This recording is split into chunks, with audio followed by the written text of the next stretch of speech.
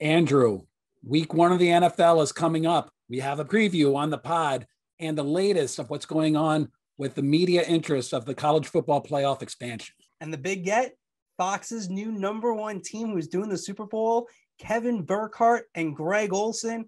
And they also have the specter of Tom Brady hanging over them. I'm going to take every week I can get. I don't know how many I got, so I'm going to take them all. You know what I mean? So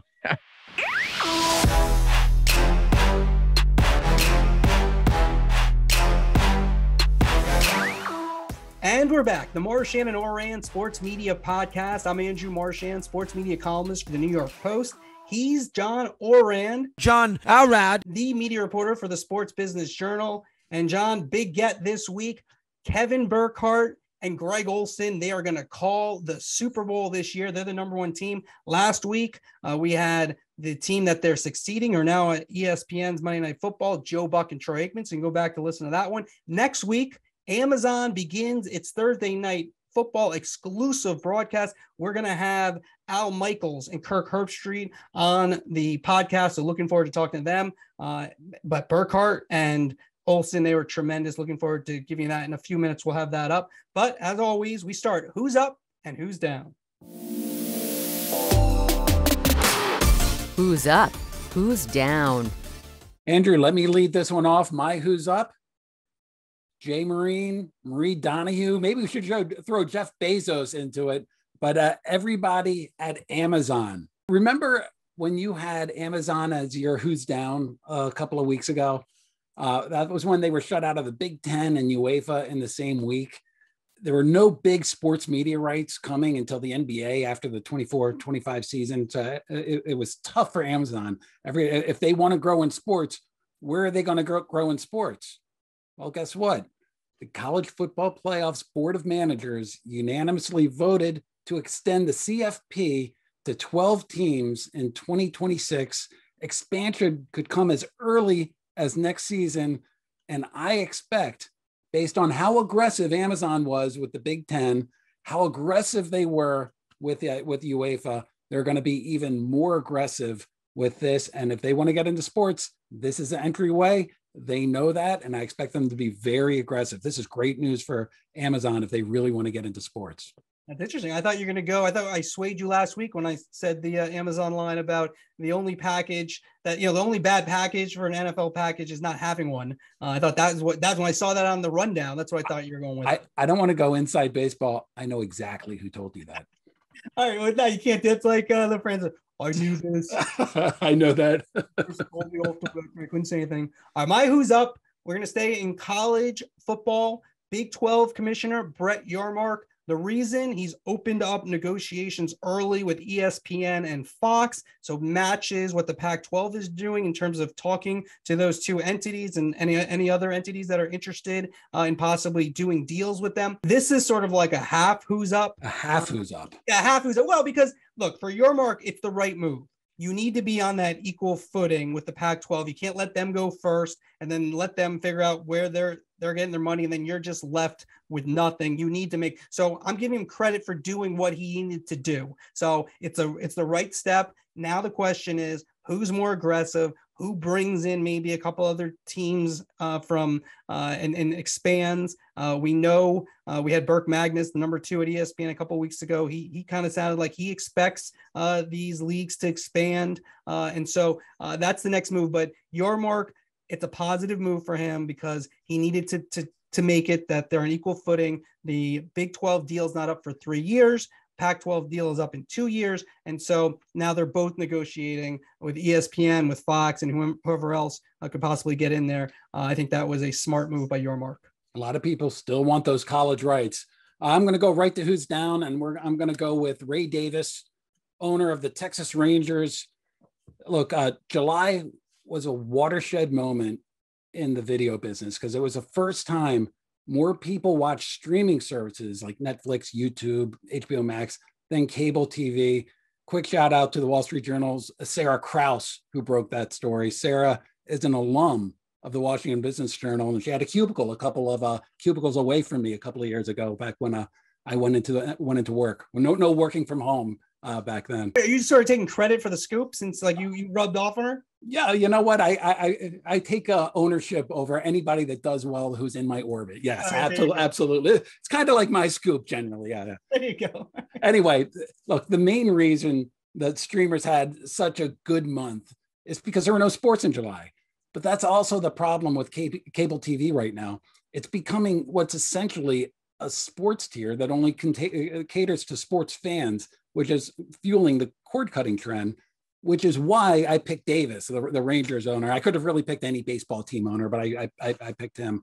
Uh, his local rights fees that he gets from RSNs are totally in peril as cord cutting happens, as more of these entertainment viewers are are seeding the the uh, cord cutting. Cable was a great business for the sport regional sports network, a, a great business. Streaming won't be so much, and this is a bad trend for for baseball team owners. All right, my who's down is Chris Fowler. Now, Fowler to me is not a great play-by-player. He's college football uh, with ESPN. He's their number one play-by-player. I think Kirk Herbstreit helps them a lot. He was on Notre Dame versus Ohio State, and let's listen to this clip of this catch by Matt Salerno of Notre Dame. Lined up here, Mayer is in the slot to the left. Ransom across from him. Buchner looking in that direction, launches downfield, jump ball. Is it intercepted on the carom? Or caught Salerno went up, it was juggled. Denzel Burke was there. I don't know what Fowler was looking at there. And look, people make mistakes. This is really hard. And I totally respect play by players. Not something I could do. Um, but you're this is when you're at the top, you get graded. It's the major leagues. And the thing I, that ESPN I don't really understand, like they had Adam Amin, they had Jason Benetti, they have McDonough, uh, they have some really good play by Schusen. They have some really good play by players. And I, I don't find I think Fowler just he just missed are a couple other calls he missed uh, this week. I think Herbstreit helps him out a lot, and I think they lucked out. I think at one point the plan was maybe those guys moved to Monday Night Football. I think Fowler might have had the same problems that Joe Tessitore had from moving from college football to Monday Night Football, where it's a bigger stage and just just kind of being slightly off in terms of uh, doing the NFL and Monday Night Football. Um, probably wouldn't have been the best thing for Fowler and ESPN if that had happened. Andrew, let's move right into the topics. Uh, the NFL season is getting ready to start. We have Kevin Burkhardt and Greg Olsen as our big get uh, coming up. What are one or two storylines that you're mainly focused on uh, when it comes to the NFL this season? My top two storylines are number one, Amazon Thursday Night Football. Uh, they will have exclusive coverage. Al Michaels, Kirk Herbstreit will be on the call in the main feed. Uh, that's going to be very interesting to watch. Uh, will people be able to find it? I think the production is going to be excellent. Uh, but and I think they're going to try to Amazon uh, the heck out of the NFL, uh, which means basically somebody else's product and they try to make it better. Uh, that's what they've done in a number of areas, from books to paper towels to anything you can buy at Amazon. There's kind of the Amazon version of things, uh, and so uh, that's number one. Uh, number two is all the announcer moves. Uh, we have Olsen and Burkhardt on later. We had Joe Buck and Troy Aikman last week. We have Al Michaels, not at NBC. NBC didn't want Al Michaels anymore, and he's with Herbstreit on Thursday night. Sunday, all brand new. Yeah, Mike Tirico and Collinsworth, and then your old crew now is Tony Romo and Jim Nantz, and so uh, uh, that they'll be interesting as well, even though they're the one that's been around the longest. Uh, so I think the announcers, the amount of money, and the Brady uh, hanging over everything. I think those are my two major storylines. Yeah, I'll, I'll go with you with Amazon. Uh, if anybody that saw my Twitter feed after the uh, their uh, preseason game, we finally got Nielsen rated numbers coming from it, and they did not look great for Amazon. I know it was preseason, I know it wasn't marketed, but if you take a look at about 500,000 viewers were watching it through Amazon. The other half were watching it on over the air television or, or via DirecTV. The, the, the big numbers are going to come with their first game. In our position, we have never seen an, a, a Nielsen, a third party, come in and give us numbers like this. I mean, Nielsen is is uh, rating other uh, other programmers, uh, streamers, and other aspects of it, but this is the first time that they've they've fallen into my lap, and it's uh, going to be incredibly interesting just to see how streaming differs from uh, regular TV in terms of the audience makeup and everything else. All right, we'll do a little over under in a moment, but I first want to make a point. All right, that's my Francesa impersonation that you always talk about. Okay, we'll do a little over under Wanda. because Dog. because our we'll have a podcast next week. We'll have Herb, Herbstreit and Michaels on, but let's get this out of the way. But first, I want to make a point about the preseason. Okay, I don't really think you can count those numbers. I, I get it, like you put them out there, but it's a preseason game. There are about 15 people in the stands, and they didn't really market it, and you have to find it. Now you could say the you know the opposite argument would be well, Detroit and the Steelers have the best uh, rating in you know a decade for CBS, but you find those games because you're used to that. So I don't think you really can count much into these preseason numbers personally. Uh, I'll disagree with you here, Andrew. You can take a look at the audience makeup and and and uh, and view it uh, in, in that lens. Whether or not, it, like I think all told, it got over a million. Who cares? Like it, it, it, that it's going to be the real first regular season uh, numbers that, that come. not week one that you're really like I, I think that the one misnomers you're like kind of like week one nobody wants to do this streaming stinks it's like it's going to be growth over the years I that's not what I that's not necessarily what I said. I I, I was fascinated. just quoting you now You are I'm being totally misquoted. The You've made the- it. half of their audience came from traditional linear television. And, and, so regardless of whether it was 1 million or 20 million, that's that that is that's significant to me. That that sort of like shows that the the move to streaming is going to be a little bit slower than than some people uh, suggest. I mean, it's all one data point, so of course it's all going to change throughout. It's going to change from week six to week week one as well. Uh, but uh, it's still it's unique to get these numbers, and I'm going to OD on them. okay uh let ad age reported that uh 12 and a half million is what amazon is promising advertisers i'm not giving you that number we both agree Come on, under under. Yeah, way under okay we're not doing that number over under i'm going to set the number at 8 million are you going to take the over or the under What are we talking about here? Are we week talking? one, week one, week one. This is Week one. Kansas City and and LA Chargers. Week one, not this Thursday, the following Thursday.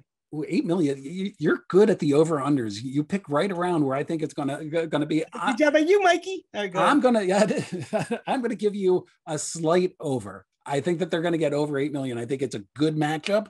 I think it's going to be the first one. They're going to market it heavily. The NFL's going to market it heavily. I, I if they don't get over eight million, I would be a little concerned for this season uh, moving forward. But I, I, I would say over. All right, Burkhardt and Wait, what's your over under? You gave the you gave the number. What you got to come on? I'm going eight million exactly. I'm going to go. I'm going to go slightly under. I'm going to go 7.7 million. I think I'm right. That's the range, but I think it'll be slightly under 8 million on that first week. I think it's, you know, over time it'll get higher, but I think slightly under 8 million for that first week. All right, let me go uh, to two more quick things. One is uh, last season, I was a devoted follower of the ManningCast. It kept me watching longer. Uh, it, it had me watching games I didn't uh, particularly uh, care about. I thought it was an excellent show.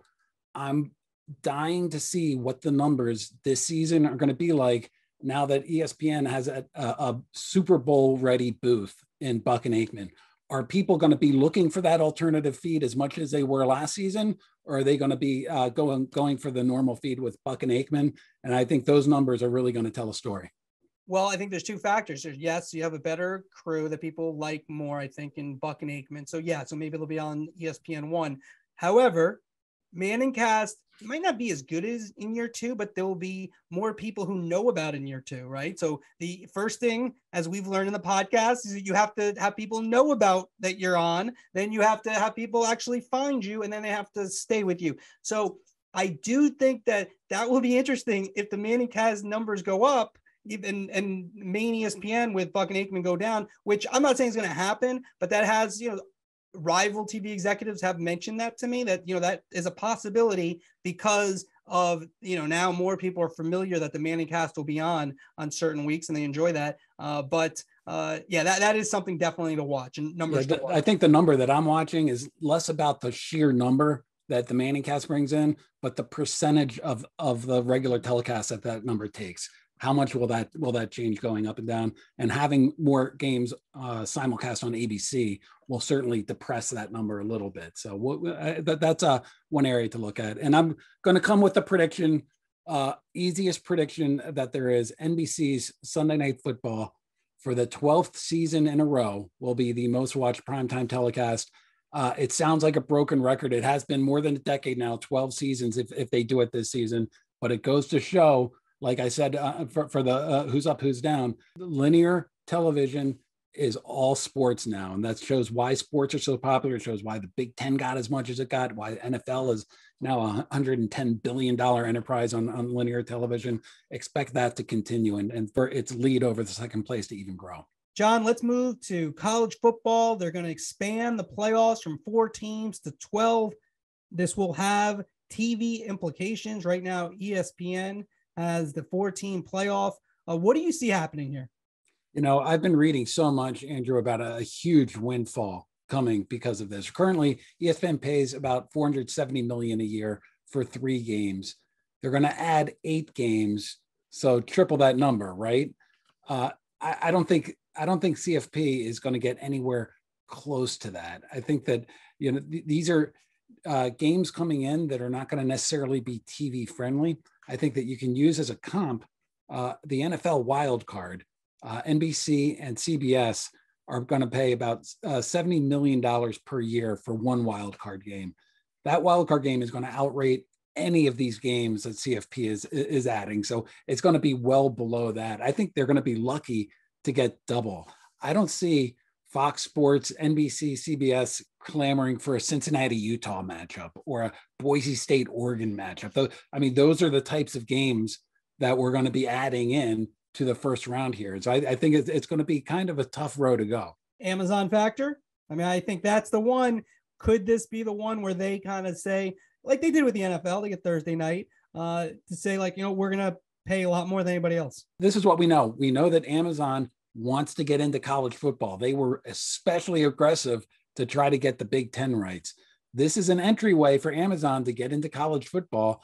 Uh, uh, will they be able to pay enough? I think one of the lessons that they must have learned, both from UEFA and from from the Big Ten, is that they really need to overpay in order to get it. It's like Fox and the NFL back in 1994. They're going to have they're going to have to put a really big number on the uh, uh, on the table, and I think that there's a good possibility that they might because as as we said before, the uh, the there aren't that many rights deals out there for Amazon to get, and they do want to grow their sports offerings.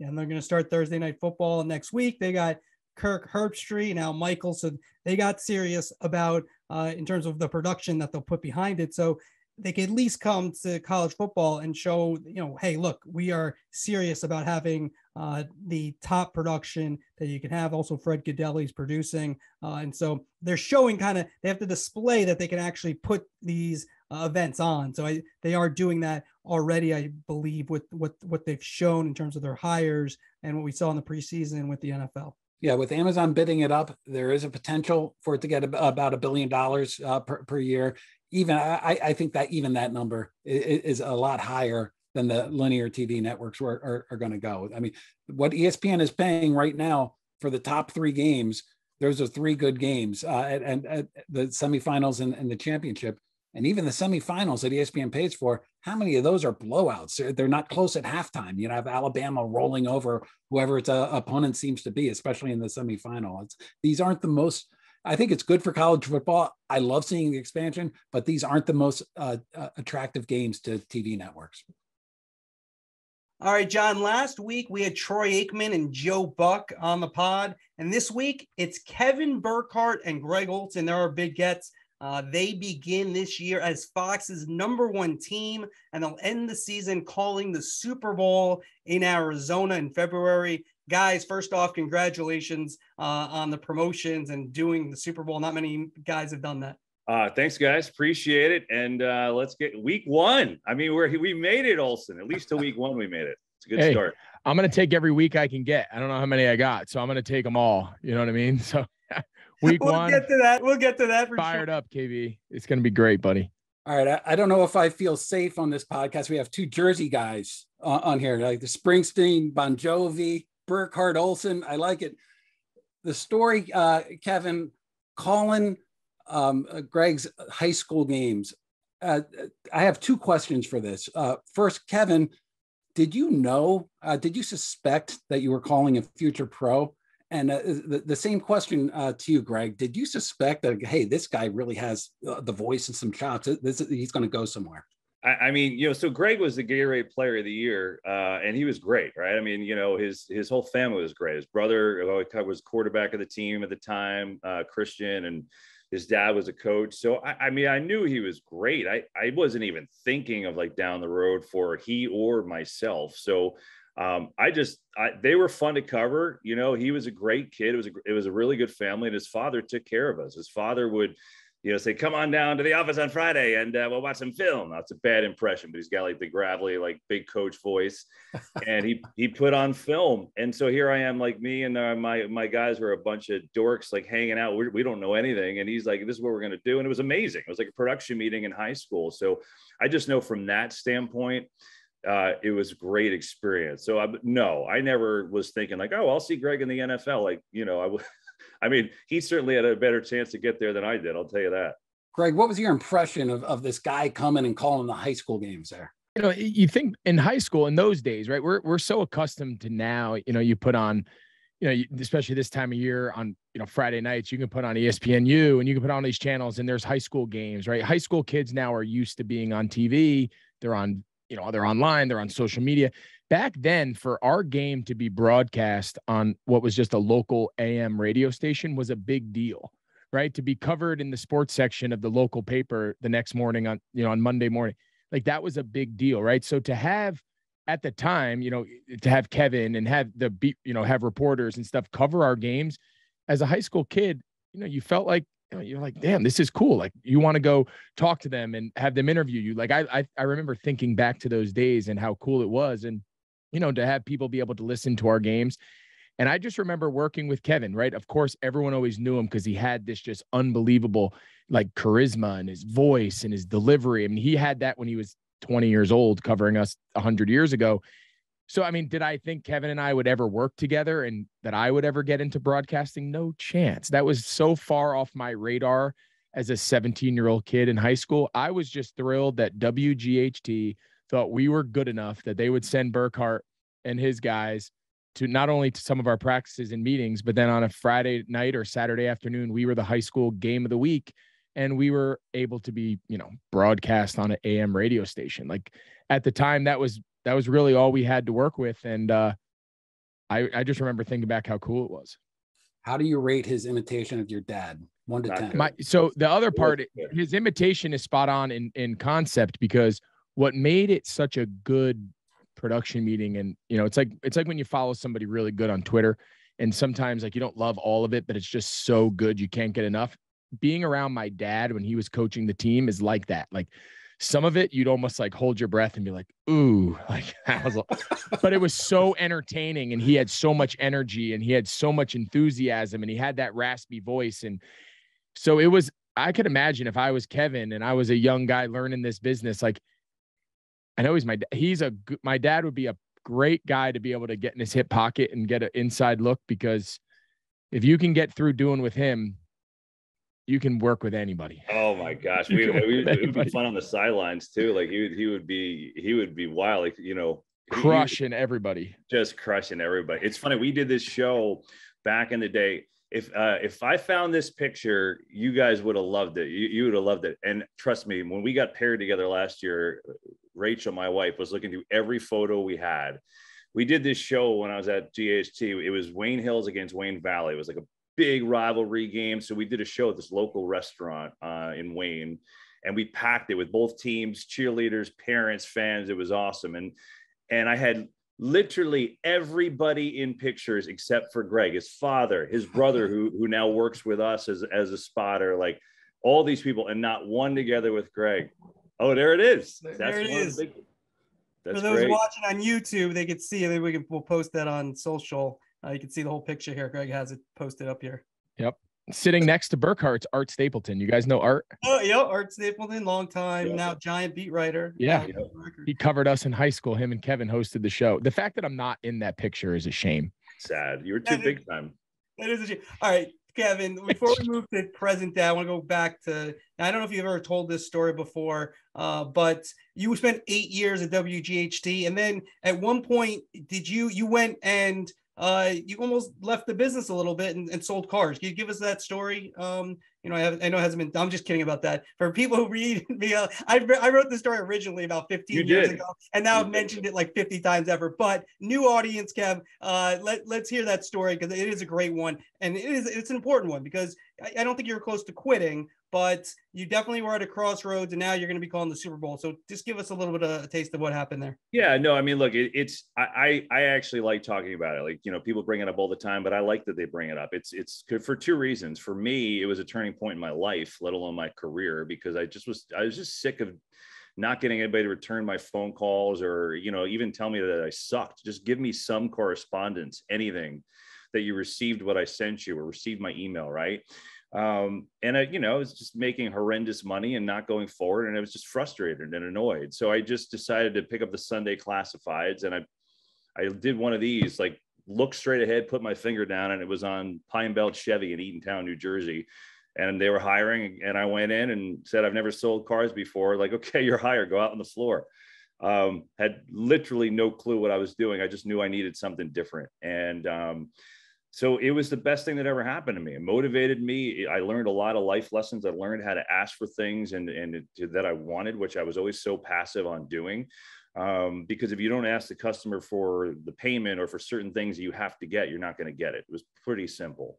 And the reason why I like telling is because for me, I wouldn't be here without that, without that moment, without that year in my life. And it's also like I just hope it's inspiring for others, like whether it's this industry or other it's not always like A to B, right? Like it's not always like, okay, I'm going to college, going to get this major, going to just rifle on and be a complete success. It's not.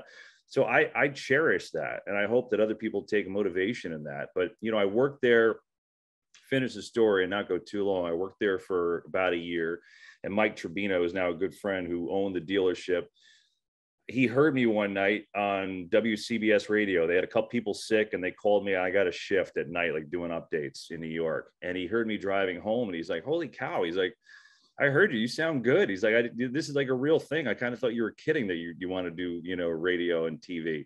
So after that, he made a pact. He's like, anytime something comes up between you and me, you tell me and you can leave.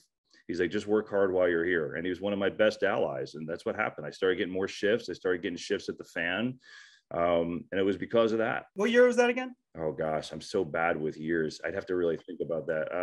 Um, what was it? I want to say, let's see, I started SNY in 07, 03 ish, maybe. I Oh, don't W- Were you good at selling cars? wait a minute, John, John, just before you ask him that, two decades later, think about that. Selling cards two decades later, exactly. We're going to go 03 because that works with the numbers. Totally normal. 03, Totally. 20 years later, you're doing the Super Bowl. That's pretty incredible.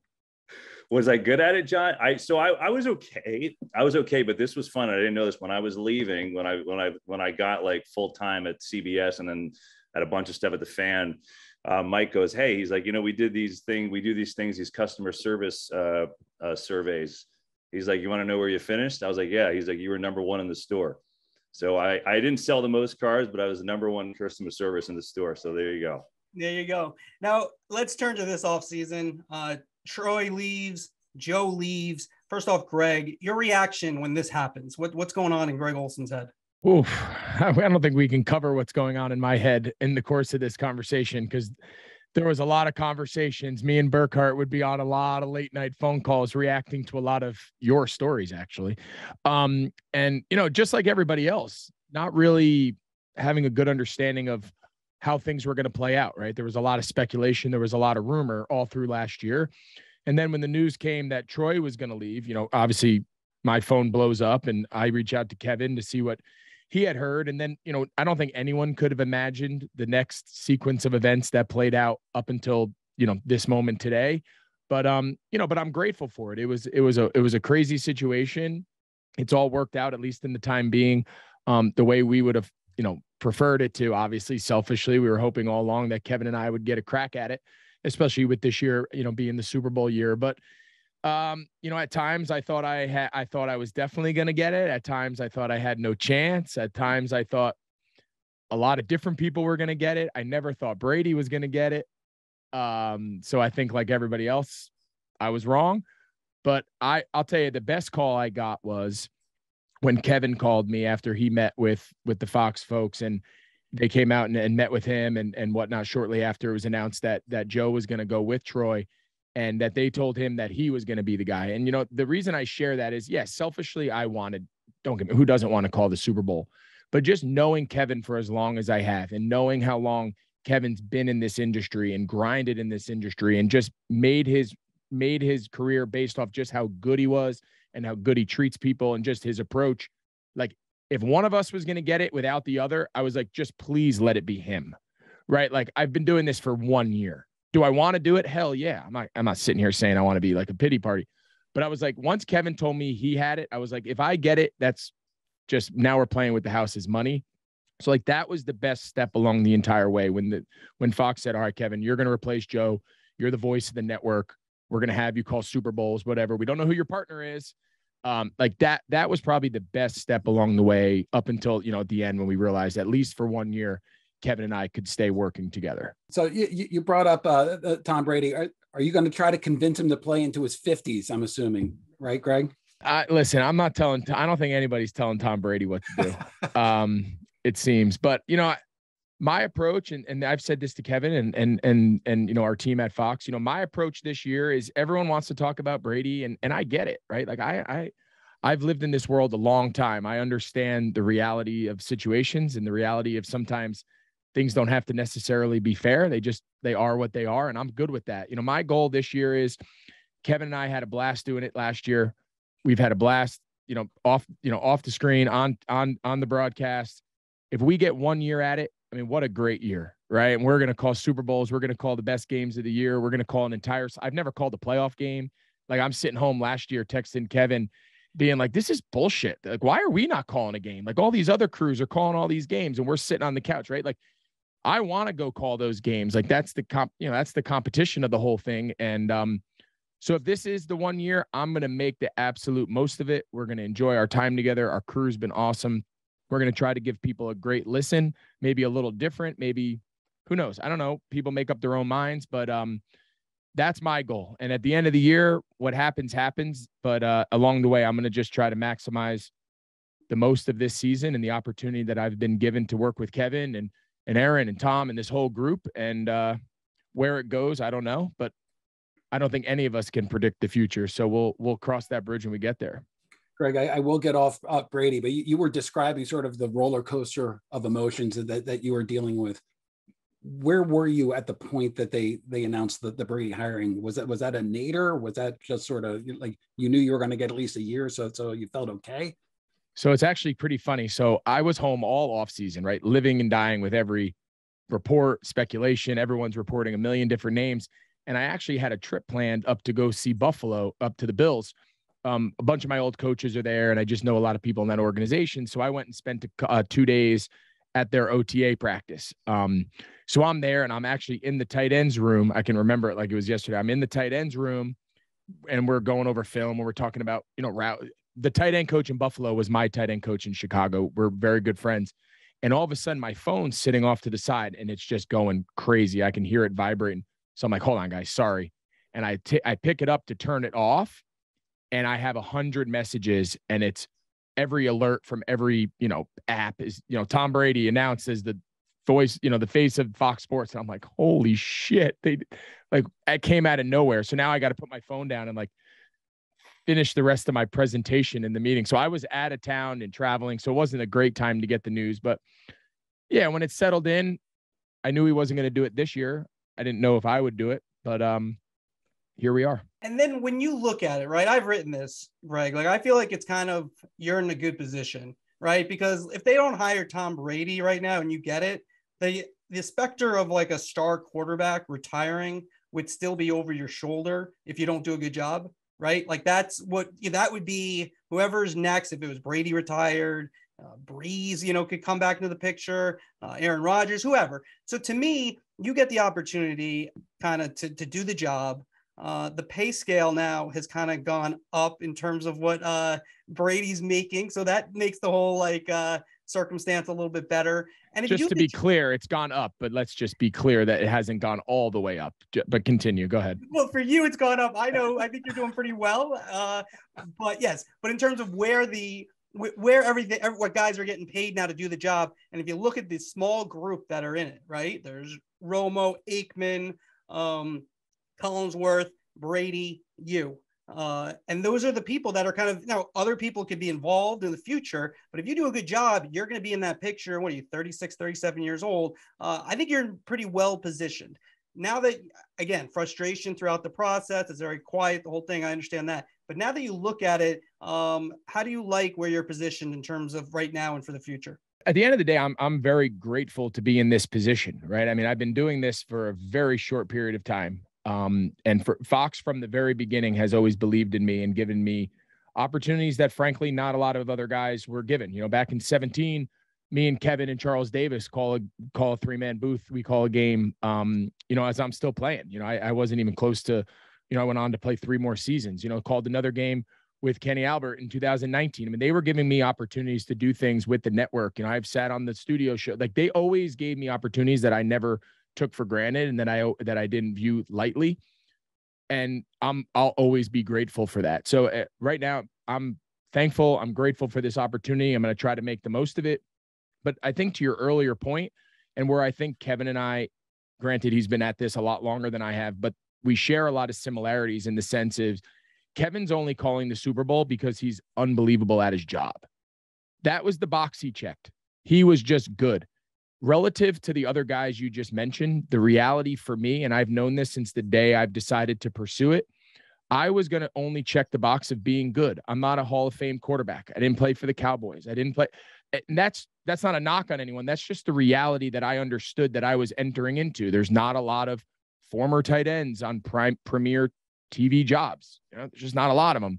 So I always knew, like at the end of the day, when I got opportunities to do stuff, I needed to be good. I needed people needed to enjoy listening to what I had to say. They need that was the only way I was ever going to be able to get opportunities was to just be good at it. Kevin's the the epitome of that. So I think to a degree that's why we've always enjoyed working together. I think that's why we work well together and appreciate one another because in that sense we're only going to go as high as our abilities take us and I think there's something to be said for that and I've enjoyed that grind, right? I've enjoyed trying to beat out maybe more prominent guys for high positions who maybe have a better resume than I do. But I don't know. I I'll go head to head with anybody and let people decide for themselves. Greg, I got one more on Brady. What's your relationship with Brady? Do you know him well? Like, what's that, what's that like? I, I don't have a, a, strong relationship with Tom. Um, we've only connected one time um, back in 2020 when the Panthers let me go. Um, we were connected through some mutual friends. He was going to be a free agent. I was a free agent and we had a couple conversations, you know, obviously the allure of going to play with Tom at that stage of my career was was awesome and and he was he was so great and and receptive and and we went back and forth a few times. The timing didn't work out. I was a free agent back during the I got cut during the Super Bowl. He had to wait till free agency started in March. I couldn't wait that long. So obviously I ended up going in, into um up to Seattle and and before he went to Tampa. It didn't work out, but that was really our our our one kind of correspondence. And, you know, I've seen him at a million games over the years and have always, you know, you know, said hello and goodbye. And, you know, obviously he's a guy from afar. You just, it'd be an understatement to say you respect him and, you know, all those things that everyone else feels. I mean, he's the greatest football player of all time. And he's always been incredibly kind and generous to me and my family and whatnot. So I have nothing but rate, you know, positive and rave reviews as far as my interactions with Tom. I don't know him personally that well, but every time I have been around him, he's been nothing but kind It'll be interesting. Week two, we have uh, the we have the Bucs uh, and Saints. Uh, Greg is going to lead off the production meeting. Tom, I, I, just saw a report that you're playing for another eight years. Is there any truth to that rumor? Congratulations on your latest extension. I paid it. you, might, you might want to take out a loan, though. Unfortunately, yeah, yeah I, I, can't pay his. I, Burkhardt, I can't cover that. No, I cannot. Can you stand one more Brady question? Uh, I might have one more what, too. I can. Listen, then we're done. Can't, but, but, you can't offend me with questions. I can answer. I I'll answer anything. Well, this one's for if Kevin. You know anything actually, about but... Greg? There is there is nothing that affects him, man. That's the beauty of it, uh, right? Right. I mean, we. it is we what it is. for a fact. Kevin, what's hey. your your relationship like with with uh, Brady? Yeah, I mean, Sam, I don't know him that well because I, you know, I didn't do Patriots games, right? I mean, we do the NFC. I think I had, I think I had two Patriots games um, uh, previous to him coming to Tampa Bay. So I just I just have our interactions from um, the couple of production meetings that we had uh, since he's been at Tampa, and he's always been great. um, you know, with us, but I don't know him intimately. Um, you know, we did text, uh, I'd say a couple weeks after the news, after it died down a little bit. And, and then that was it. Then it's like, Hey, have a great year and, you know, I'll see you down the road type of thing, because it's, you know, right now we got, uh, this in front of us. So I, I just feel like it's one of those things. Great, congrats, and have a good year, and, and move on. So we've always said I, have always enjoyed it, uh, but I don't know Tom well. Well, right, last Brady one for me. Come Jan- come January, Bucs are out of the playoffs, right? If Brady were added to a booth with you two guys, can you make that work, or do you think that's too difficult? Um, you know, I know what I think Fox might be thinking in terms of that, but I just want to see what you guys think in terms of that scenario, uh, in terms of him being added and trying a three man booth that late in the year. I, I, think I think Greg and I can make anything work. I, I think first of all, like we have this amazing crew that's done a gazillion big games. So already we've done one preseason game, we feel comfortable. But I feel like look, I know we've done one year. I'm not saying we're reinventing broadcasting. That's not what I'm saying at all. I'm just saying that he and I are close. Like, like we get along, right? Like we look forward to the doing the games as much as we do as having an old fashioned on Saturday night and, and having laughs. Like it's like, so I just feel like whatever, whatever happens, we'll, we'll roll with whatever. You know, I, I have no idea if, if what Fox is thinking in terms of that, and I can't handle that. So, but I what I do know is whatever happens, I feel like we can handle anything, you know, in terms of that. So, yeah, I, I don't think that would be a good idea personally. I think that'd be a tough spot for everybody. I mean, I even especially Tom. I mean, throwing him in there on that big stage, but um, it's a hard. Listen, I don't, I don't, I have no right, no clue. No, so this is not like conjecture or, or like, but I don't know if you're anyone, Tom or anyone, like first broadcast ever, you want to jump in a booth having never done it in a playoff game. Like I sound, that sounds like it's a pretty hard thing to do, right? So who knows? I mean, I let's go, let's do week one first, and then and then we'll figure it out. Let me get to that. And Greg, what's a successful season for you guys? For Kevin and I? Yeah. I don't know. I guess that you write us good articles, so you better write us good articles. I mean, it's that's going to that's going to be tough. Marchand ready to start. I mean, it's pretty straightforward. No I mean, you write promises. I mean, I mean, give me a, I don't know, what do you do, like clickers or something? Is yes. that your thing or whatever? Yeah. Just give us the best you've ever given, and that's fine. No, I listen. I I don't know. I I don't I don't listen. I don't know. I'm very new to this industry. I I know football, right? I know hanging out with Burkhardt in the booth and talking football the way we see it and the way we find it to be interesting. It might not be for everybody. It might not be everybody's style. Uh, I'm sure it's not. At the end of the day, Kevin and I are going to talk the game, talk the storylines as we see it, as we find it interesting.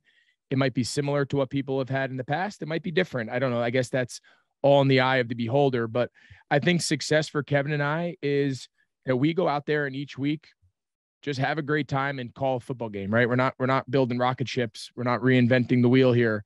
We're talking about a football game. We're very fortunate. We're going to get to call arguably one of the best games of every week, which is going to then culminate into, you know, playoff games all the way through to, of course, the biggest sporting event of the year in the Super Bowl. So I think just enjoy each one of those opportunities. Who knows how many of those you you get? And as far as reviews and what people think, I don't know. I don't know. I don't really know what that entails, right? I, I think if you asked a million people, I think everyone thinks some people think everyone's great and some people think everyone sucks and then the real the normal people are somewhere in the middle kevin how do you view success like like what, what are your sort of metrics with that i've never really thought of that until you just asked me right now um you know i i think um Every, look, I think in, in your mind, everyone has their own goals, right? And um, I think you can only control what you can control. So, um, look, as a kid, did I dream about like doing a Super Bowl one day when I was seven, eight, you know, 10, 15 years old, all that time? Yeah. But was it ever realistically like in my head the last, you know, I don't know, 15 years? I don't know. Like I, I, I was never, everyone has their goals. I was never a person that's like, oh man, if I don't, you know, call a Super Bowl, then I'm, my career's a failure. I, I, I don't know. It just was never me. Like I wanted to do the best that I could out of anything that I was doing. And because we live in a subjective world, it's not going to make everybody happy. So my two things are do the best I can. I'm going to do it my way. This is more than two things, by the way. I can't add. I'm going to do it, eh, do the best I can. I'm going to do it my way and have fun with it. And and just work hard and grind at it to the best of your ability. Like there's going to be people that love you, people that don't. but I think if you if you do that and you treat people kindly along the way, then hopefully that's a success, right? So for us, do our games feel big? Do we capture the moment? Um, those are the questions I think that you that, that you want us to do, and I think we will. Yeah, uh, Joe Buck, you know, he's he's talked a lot about Twitter, and you know, uh, I think John. I don't want to speak for John, but you know, Joe Buck's one of the best ever, in my opinion. Right? Uh, the, the question on Twitter is kind of. Yeah, I don't really get it. You know, like you said, it's subjective. Some people are gonna like it. You did an interview the other day with Deadspin where you said, if they don't like me, I don't give an F. I can't let it affect how I do my job. Just what did you mean by that? And can you expand on what you're talking about with that, Kev? Yeah, well, like I wasn't doing it for a headline, um, but you know, dead, Deadspin, that's fine. I, I don't care. But it was just in the conversation asking about criticism. Um, and yeah, I'll keep it PG, but you know, it just kept harping on the criticism thing. And I said, I don't give a, I, I just don't, I just don't, right? Like there are people that there are people that matter. That like, you know, my bosses at Fox, my coworkers, um, you know, my family, people in the industry, um, you know, people that have critiques or things to say that matter that you have to take into you know your form and, and maybe decide if you're doing something differently or whatever and then there are people that are entitled to their opinion like so that's fine if there are going to be people on twitter that uh, you know i'm sure there's going to be people that i've had I, i've had really good you know interactions on twitter and mostly to be completely honest i would say 85 90% positive in my in my life so i wasn't like trying to say oh my gosh i've been I haven't. So there's been people, they're always going to say, after every NFL game, some will be like, Oh, I can't believe you're rooting for the Cardinals or you suck, you're rooting for the Ravens. I'm like, I got news for you. I was just rooting for a close game. So that's going to be what it is. But there's always going to be people that don't like your style. You and Greg do this. Fine. I, I get it, right? I had my favorites growing up too. So what I'm saying is, I don't give a flying you know what if you think that because I'm going to do it the same way I've done it. So that's what I meant. Greg, your same attitude? Yeah, I mean, I, I've operated in an environment where where response and feedback and criticism was kind of name the name of the game. So, I mean, listen, does nobody, it's human nature that nobody wants to be disliked, right? Nobody wants to be viewed as being bad. That that's human nature across the board. I've been fortunate. I've operated in an environment where the outside perspective of my career and the people who've evaluated my games, my career, my seasons have had very little impact on my success or lack thereof. And so I've operated in that environment for a very long time. And to Kevin's point, yeah, would it be nice if every article written about you was that you're the best thing that's ever happened and every tweet on, you know, every tweet and post and whatever is about how amazing you and Burkhardt are? Obviously, everyone would choose that, but that's never going to be the reality of our world. That's never going to be the, be the reality of social media specifically. And I'm used to that, right? I would have games where I had 120 yards and then I'd meet some lady the next week in the grocery store and she told me I lost her fantasy team and she hated me, right? Like I, I get it. Like criticism is nothing new to me. I've lived it my entire life and uh this is just a different arena, a little more of a open you know, open season on it seems like it's like a hobby on games to just take a assault a commentating crew, but uh yeah, I'm with Kevin. I, I would prefer if people thought I was good, but I, it doesn't really affect what I'm to do. I have one last one. Kev, you got to uh, throw out the first pitch uh, at the uh, at Citi Field last week. I have two questions actually. First off, Greg, what do you think of Kev's first pitch uh, from at Citi Field last weekend? Looked like a strike for my advantage. I, I mean, I thought he was fantastic. I, I got sent a real time video, um, and I thought everything from his outfit to his style. His hair is obviously always top of the line. I would kill for his hairline. Um, but the guy, yeah, sorry. Um, but yeah, I mean, the guys, he was, he looked great. He got on the mound, which is a huge win. He didn't baby it. He didn't palm it. He went high and hard through a, through a, I thought everything about it was a win. Um, yeah, I'm, I'm proud, but I'm not surprised. He's the coolest, calmest guy of all time. You can't fluster him. The moment's never too big. And that was never going to be an issue with Burkhardt. And Greg, you you probably know this. I mean, Kevin's like a folk hero kind of Citi Field with Met. Oh yeah. And wow. I've written, you know, he's arguably the best sideline reporter ever. So my question for you, Kevin, this is my last ever, one. like an ever, or just like maybe ever, yeah, maybe. Oh ever. my God, what a statement! Wow. That's I mean, look, it's not really like have I watched every regional sports all time? Shit. but I honestly that's think, hey, That's Hey. the moment. That's the moment of the entire interview, Burkhardt. You're the greatest sideline reporter of all time. Clip And- that, send it to marketing. It's going to be that, and like Olsen's uh, quote, which you're about to have now, that uh, my game's at WGHT bigger than Super Bowl, but that's for another podcast. well, no, my question though for you, this is really the question because we like to get Okay. all technical here. Now we're at the end of this interview, so you know people uh, who are really into this stuff. Wh- what did you try to do as a sideline reporter? Because you know, like I, I'm giving you a great compliment, but what did you try to do as a sideline reporter on those SNY Mets games? Well, I first of all, thank you. It's very kind to say. There's obviously a lot of great people in the industry that have done this. But I, I when I first got the job, now I I had I had dabbled in a little bit of television. I had not done TV since college. Okay, so it was trying to talk to people figure out how to do the job, and then you know just all of it. Like you know, I I. I'd, I'd, I'd covered baseball, but not on a beat. It was a lot of figuring out to do for me and you know and then just watching a lot of different uh, sideline people and, and and figuring out you know what their routines were and how they were used. And the best advice i ever got was from greg picker who's still the producer there who's terrific. He's like look he's like this is early on. He's like i could care less.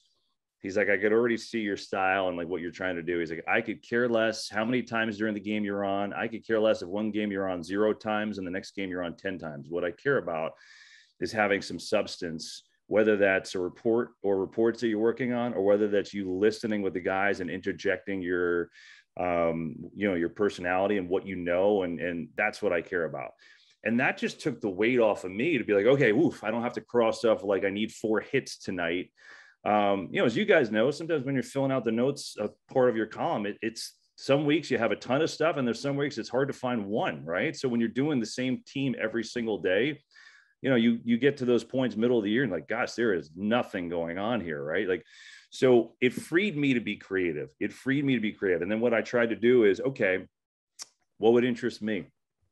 And maybe not like the everyday stuff. Like, what would interest me? I would go in the clubhouse, I'd see a guy shaving his bat. So I'd ask him, what are you doing? Why are you doing that? How do you do it? How does it help? Just because I thought it was interesting watching him do it. So I just tried to think a little bit outside the box. And then the other part was just our team was so good. You know, I'm a little bit of a goofball by nature, right? And um, I think I, I think I try to be personable. So they just kind of let that out, you know, to the point where it was like I I was not like let's go down to you know blah blah blah. I was part of the broadcast. Gary Keith and Ron and our whole team, Picker and Bill Webb, the legendary uh, director, you know, God rest his soul who helped me a lot. Like I was part of the team. Like I wasn't just like an add-on. So it was like stuff would happen and they would open my mic. Um, you know, if they would come down to me because I had play-by-play chops, they would let me call the plays. I called a couple home runs and I asked Gary Cohen, like, hey man, I, I don't want to step on your toes. Like, are you cool with that? You know, like, and he's like, just run with it. It's awesome. Like, who would say that? How many guys would do that to a sideline guy? So it's really that that empowered me to be able to do the creative stuff that I tried to do. I give everyone more credit than myself. Kevin, I'm going to end with this. I have one final question. Uh, Marchand has what I think is probably the worst Mad Dog imitation I, I, have I've ever heard. Hold on. I know. Hold on. Hold on. You guys have listened to the pod. Did you hear John's Francesa's worse? Oh, that was even worse. Absolutely. That was definitely worse. dog, Alright. dog. No, no, you worked on the show. Francesa's harder though. Francesa's a little harder, I think. You think so?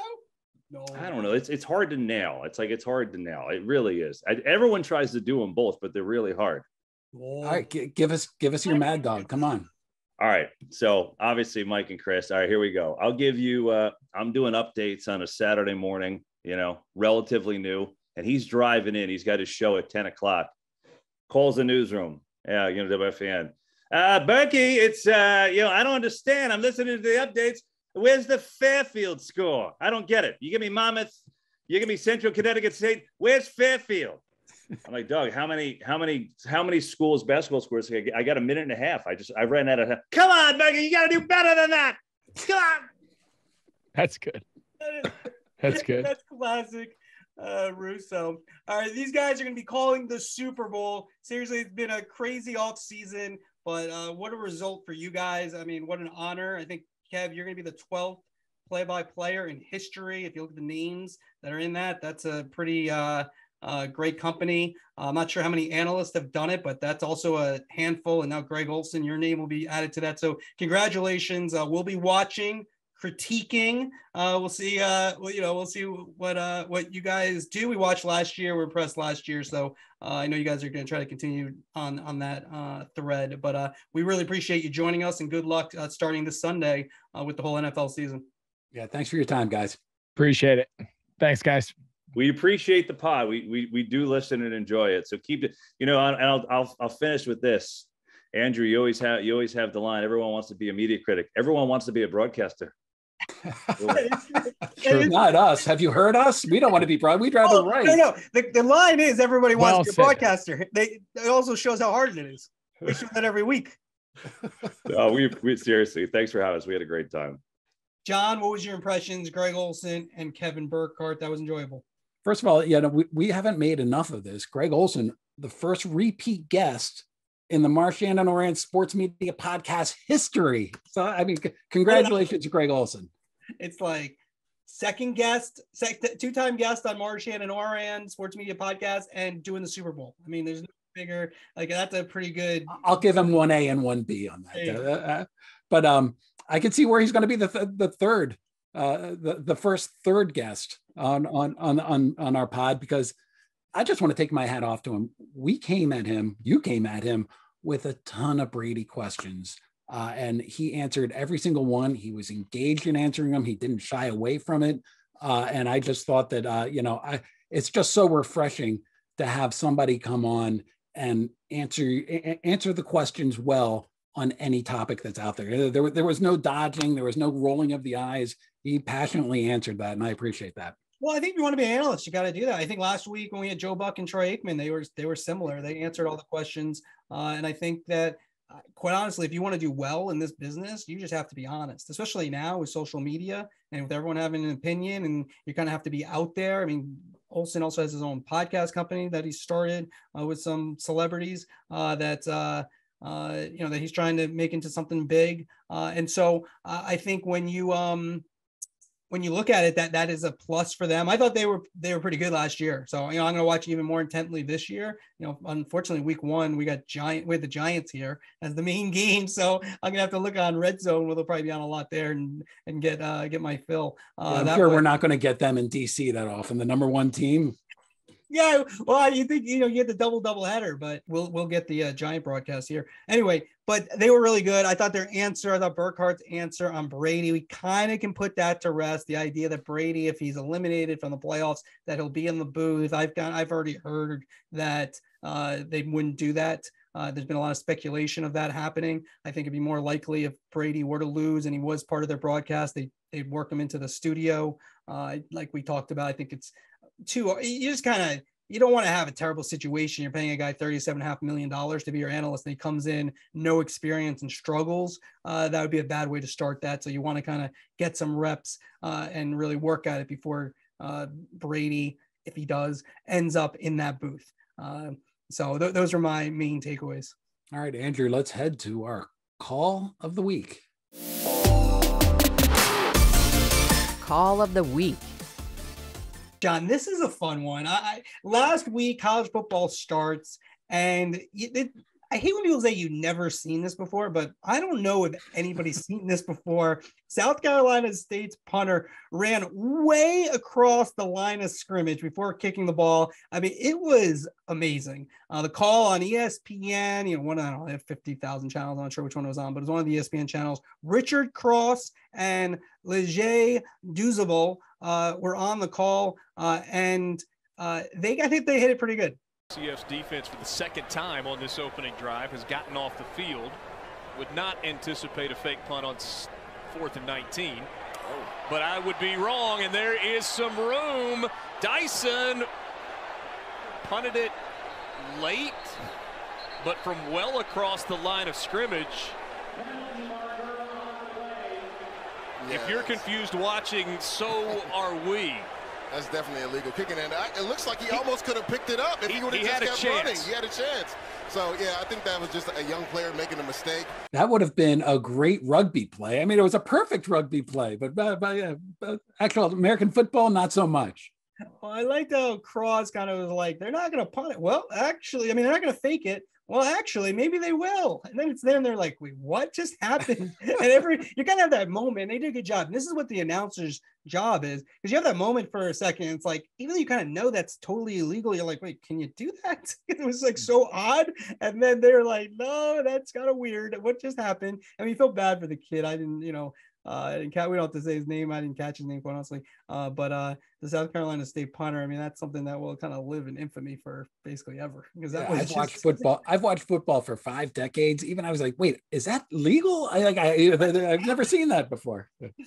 All right. Look, we really enjoyed uh, the show. Uh, we really want to thank uh, Kevin Burkhardt and Greg Olsen, Andrew Fergusi from Fox Sports who set that up for us. We uh, appreciate all of them uh, putting that together and, and coming on. And uh, that was an enjoyable interview. Uh, again, if you missed last week's, we had Joe Buck and Troy Aikman. Next week, Al Michaels and Kirk Herbstreit as Amazon's going to debut with their exclusive Thursday night football. So we'll have the guys who will call the game. Well, they'll be on the podcast next week. Uh, and as always, we really want to thank AC White and Chris Mason who put this whole thing together uh, and deal with us. Uh, especially Ourand, who's you know you don't even know goes behind the scenes. He's like I you know with the times and you know what works for him and what doesn't. I'm pretty I'm pretty high maintenance. I am high maintenance. And also call to action, please uh, like and subscribe, rate and comment. Uh, these things we're told they help. We appreciate everybody that's already done that. Uh, thank you for doing that and thank you for listening.